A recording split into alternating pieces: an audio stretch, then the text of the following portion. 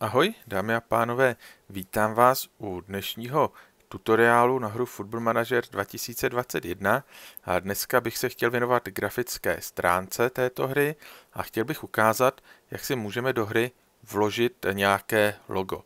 Ideálně logo, které nám chybí v balíčku, který jsme si stahli. Jak víte, defaultně ve hře loga nejsou, protože hra nemá licence na to, aby loga používala, takže eh, můžete si loga stahnout v určitých balíčcích. Eh, co budeme potřebovat k tomu, abychom si tam to logo mohli vložit? Tak určitě budeme potřebovat nějaký grafický editor. Já budu používat GIMP, to z toho důvodu, že je free, takže když to budu ukazovat, tak každý z vás to potom může dělat úplně stejně v tom programu, jako to budu dělat já.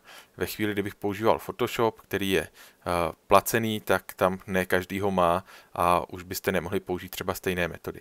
Potom budeme potřebovat logo toho týmu, který eh, budeme chtít nahradit v souboru nebo ve formátu PNG. A potom budeme samozřejmě potřebovat nějaký textový editor, PS, Pad Editor nebo Notepad nebo klidněji poznámkový blok. Takže tohle to budeme potřebovat k tomu, abychom si tam to logo vložili. Já každopádně doporučuji stahnout si nějaký balíček log a případně jenom doplňovat loga, která v tom balíčku nejsou, protože dělat všechna loga do hry od začátku si myslím, že je sebevražda. A hlavně je to zbytečný, protože ty balíčky už jsou a oni se vlastně jenom obnovují pro nové verze, když se třeba změní nějaké logo, nebo když nějaký tým někde přibyde v nějaký nižší soutěži a tak dále. Každopádně balíček, který jsem si stahl já, neobsahuje Manchester United. Neobsahuje logo pro Manchester United, takže to eh, opravíme, tohle logo si změníme. Jak to tedy uděláme?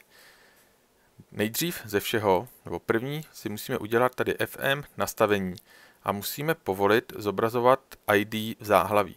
Protože každý objekt ve hře, ať už je to tým, ať už je to hráč, trenér, reprezentace, asociace, prostě cokoliv, má své ID. Takže já potřebuji vědět, jaký ID má Manchester United.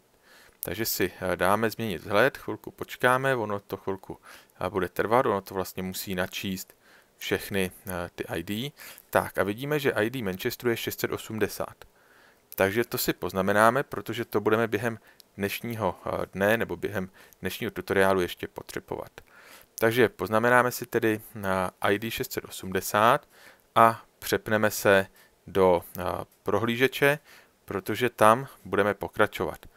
Takže ve chvíli, kdy máme tedy poznamenané ID, tak se můžeme přepnout do eh, libovolného prohlížeče. Já samozřejmě doporučuji eh, Google, nebo já používám Google Chrome, tak ne, že ho doporučuji, já ho používám, ale je to úplně jedno samozřejmě. Eh, já myslel spíš jakoby Google, vyhledávač Google, takhle ne Google Chrome, ale vyhledávač Google a do obrázku napíšete Manchester United, logo, PNG, budu číst PNG, nebudu to nějak anglicky vyslovovat. No a najdete si logo, které je ve formátu PNG. Pozor na loga, která se tak tváří, ale už tady za sebou mají tu šachovnici. To není PNG logo. Jo, nebo respektive není tam jenom to logo, je to i s tou šachovnicí, museli by se to složitě vyřezávat. PNG nám umožní, že to logo je vlastně vyříznutý, že to okolí je eh, transparentní, je průhledné, takže když si vložíme to logo do hry, bude tam opravdu jenom to logo. Takže si najdeme nějaké logo, které se nám líbí, jo, můžeme si najít prostě libovolné, co se nám líbí, co tam chceme mít. Já doporučuji něco, co bude odpovídat eh, tomu vzhledu těch ostatních log. No a eh, budeme pokračovat dál. Ve chvíli, kdy si to logo stahneme, tak se potom eh, přepneme do nějakého toho grafického editoru, kam si to logo stáhneme. Takže já si budu používat, jak jsem říkal, ten GIMP. Takže tady máme logo uložené, jo, stažené, načtené, takže soubor otevřít, jo, někam si to uložíte, to věřím, že každý umí, protože jinak asi nemá úplně cenu pouštět se tady eh, do nějaké tvorby loga, když by eh, divák nedokázal třeba uložit soubor a načíst soubor. Takže tohle to máme připravený. Zatím s tím nic nebudu dělat, protože další věc, kterou já potřebuju, tak je, eh, že se potřebuju přepnout do složky vlastně s hrou do složky uh, ze soubory, které budu ve hře používat. Takže ideálně nebo defaultně tento počítač dokumenty Sports Interactive Football Manager 2021. Tady si otevřu složku s grafikou. Já tady mám samostatnou složku loga, Tady mám složku Evropa a tady si najdeme složku Anglie. A tady si najdeme potom kluby. To, že to mám takhle zrozfázovaný, to je tím, že jsem si stáhl nějaký balíček, kde to také bylo připravený. Samozřejmě můžete mít všechna ta loga nasypaný prostě v jedné složce. Myslím si, že pak je to docela dost kovbojka v tom něco najít. Tak, klub a teď máme normální a malé. Budeme potřebovat obojí, takže dáme normal a hledáme 680, jo, Manchester měl 680, vidíme 679, 681, logo 680 chybí. Takže si zjistíme velikost.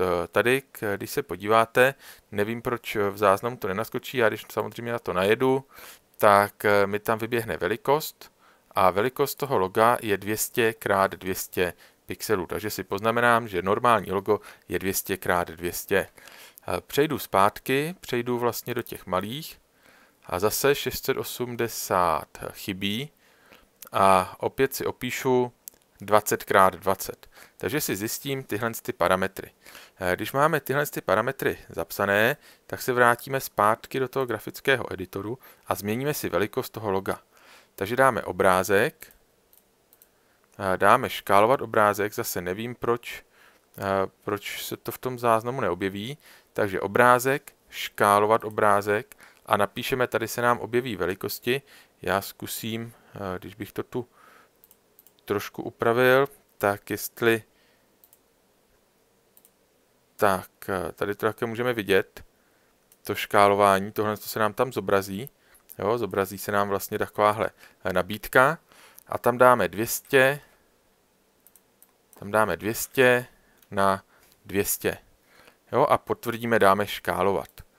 Já teď samozřejmě musím tam vrátit tady zpátky to, co jsme měli.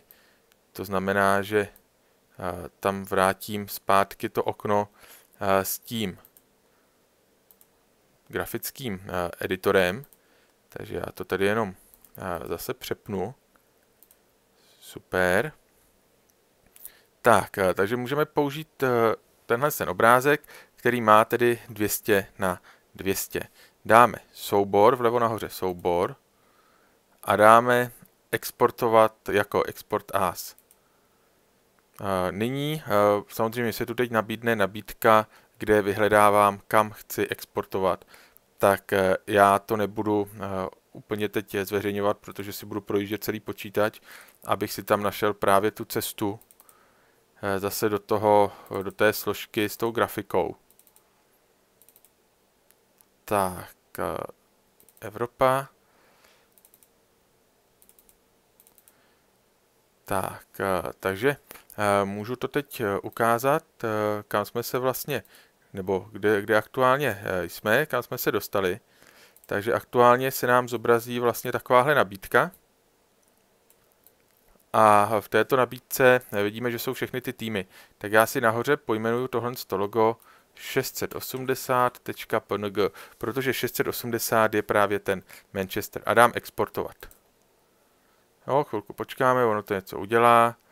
Tak, a nabídne mi to tu ještě jednu tabulku, tam to jenom potvrdím, že chci exportovat. Super, teď máme, já tohle to zavřu, tak, eh, teď máme logo uložený, máme ho vyexportovaný. Já udělám teď ještě to samý a udělám to vlastně pro tu velikost 20 na 20 takže znova úplně stejný postup, škálovat 20 na 20 soubor, exportovat jako a tady to jenom dáme eh, do toho, se kouknu, jestli, ne, to se tam nezobrazí, eh, tady to dáme jenom vlastně do toho malého jo, jak tam je to small, takže tam to vložíme zase 680.png exportovat. Tak, eh, super. No a můžeme se eh, podívat, takže tohle to také můžeme všechno pozavírat, to nepotřebujeme. Tak a můžeme se podívat zpátky do toho prohlížeče a uvidíme, kde to máme. 680, tady už je eh, vlastně umístěné logo. Jo, tady už máme umístěné logo a eh, můžeme se přepnout eh, samozřejmě i do těch normálních, tam to uvidíte lépe. Takže normální velikost a vidíte, že už se tu objevil Manchester United. Takže logo máme připravené máme ho uložené a můžeme ho načíst do hry. To uděláme jak? To uděláme tak, že v té složce normál dole je soubor config, konfigurace. Takže otevřeme si ho, klikneme pravým, otevřít v programu, já používám třeba PSPad Editor. Tak a abyste to teď viděli, tak já zase zobrazím PSPad Editor, jenom přepnu okno. Super, takže takovýhle tohle to nyní máme. Právě jak jsem říkal, doporučuju, když si stahnout eh, nějaký balíček s logama, protože už tam tenhle ten konfigurační soubor máte vytvořený. Už ho nemusíte celý psát, už vlastně v něm uděláte jenom změnu. Jo, už do něj jenom dopíšete eh, ten váš klub a to uděláte hrozně jednoduše, protože eh, jenom skopírujete nějaký řádek, který tam je a nahradíte to číslem 680. Tak já to ideálně dám sem v pořadí, takže skopíruju Ctrl-C, Enter, Ctrl-V a jenom přepíšu tady 680 a tady přepíšu taky na 680. Ctrl-S. Jo, přepsali jsme vlastně, eh, nebo řekli jsme hře, načti eh, místo týmu eh, vlastně 680, načti tady k tohle logo. Tak, zavřu tenhle ten konfigurační soubor protože teď už ho nepotřebuju. A samozřejmě to samé musíme ještě udělat i v tom uh, malém, jo, i v těch small. Takže zase si jdu dolů, najdu konfigurační soubor. Já už ho teď nebudu zvětšovat, nebudu ho teda znova uh, otvírat jako okno. Ono to je totiž poměrně rychlý, já si jenom překopíruju dolů.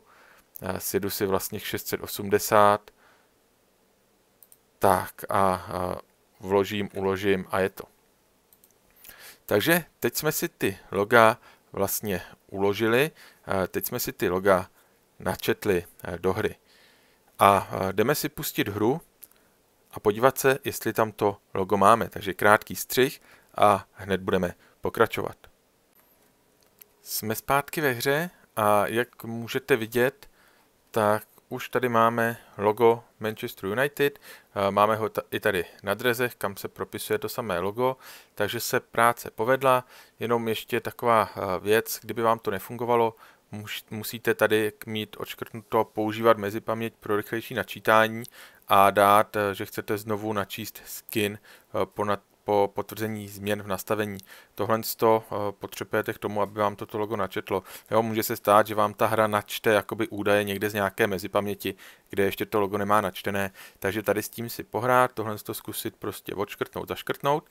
Takže vidíte, že tady máme eh, krásně logo uložené nebo eh, zobrazené. Tohle je velké logo. Když dáme anglickou Premier League, tak tady je vlastně to logo, to malé, to small. Jo? Takže vidíte, že máme logo i zde u Manchesteru plus hráči. Tady koukám, že zrovna nikdo z hráčů není v topce. Tady k, zase logo, jo, to logo se samozřejmě tady taky, to logo se nám propíše všude. Takže tohle to byl, myslím si, takový jednoduchý návod na to, jak si vložit libovolné logo do hry Football Manager 2021. A já to třeba používám, protože nerad uh, tam mám ty defaultní loga, tak já to používám, když pak hraju třeba proti nějakému týmu, třeba Evropskou ligu nebo něco takového předkola a ten tým tam nemá logo, tak si na Google najdu logo toho týmu, většinou to někde najdete, většina těch týmů, kteří už pak hrajou ty evropské soutěže, poháry, i když jsou někde prostě z bůhví odkud, tak mají nějaké třeba své internetové stránky. Ideální, když se vám povede to logo najít PNG, když ne, musíte si ho ořezávat, musíte si ho vyříznout, takže pak to jde třeba snadno u loga, jako má, jako má City, jo, nebo Fulham, ale u loga, jako má třeba Tottenham nebo zrovna Manchester United, které nejsou pravidelného tvaru, jo, nebo Newcastle, tak tam bych to asi úplně vyřezávat eh, nechtěl, ještě z, spíš z nějakého různobarevného pozadí, ale to už je zase úplně jiný příběh. Takže věřím, že se vám tutoriál líbil, já jsem trošku experimentoval právě s tím přepínáním oken a zvětšováním oken eh, v průběhu té práce, takže eh, věřím, že se líbilo, věřím, že to někomu pomůže a mějte se pěkně a ať se vám v manažeru daří, ať vyhráváte a získáváte body. Tak čau.